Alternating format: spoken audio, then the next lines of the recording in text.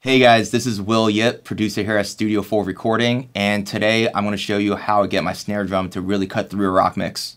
Let's take a listen to the drum mix, and then I'll show you how to put it together.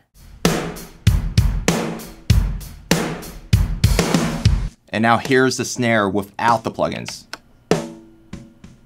You hear how flat it is, it's super muddy, it's cloudy, um, there's, there's a good amount of ring, um, it's very pongy. And my goal with my snare drums, especially inside a rock mix, is to get it to cut through an entire wall of sound and without trying to lean in on using samples. The first plugin that I grab every single time is a 1073 on my snare drum.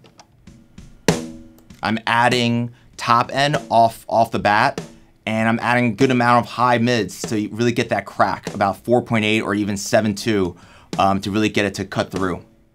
And for the weight of the snare, I love adding a good amount of the lower lower mids, even 110 or even a little higher, just to get that weight of the snare to really sit in and kind of have impact on the mix. This is the snare without the plugin. And here's the snare with the plugin. You really hear it come to life. After the 1073, I immediately go to compress it with a Blue Stripe 1176. My goal here is just to kiss it, you know, not to crush it, um, still keep the dynamics of the performance, but to just get it consistent, get it consistently sitting through a mix. Slow attack, fast release, again, keep the shape of the dynamic still in play, and driving the input to get about two to three decibels of reduction. And lastly, I always reach for API 560 just to do the molding after compression.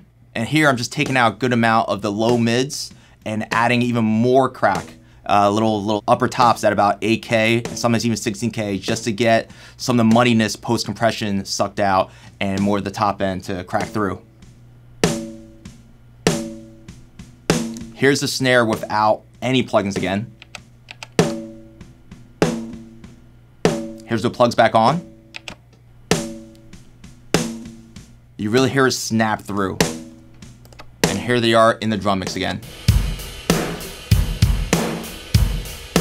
Without the processing,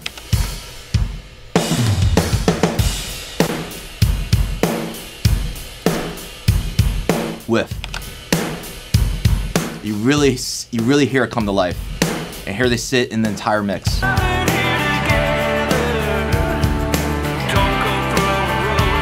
Without the processing in the mix.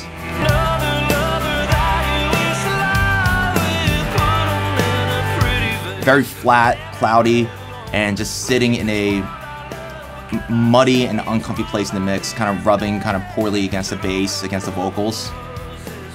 With the processing, and it jumps off the page like a sample, like a sample would, um, but without having to add in crazy dynamics. You're doing it with a natural snare. I hope that was helpful. Hopefully you can take that and apply it to your own drums and really help your snare cut through any mix. I'll catch you guys on the next one.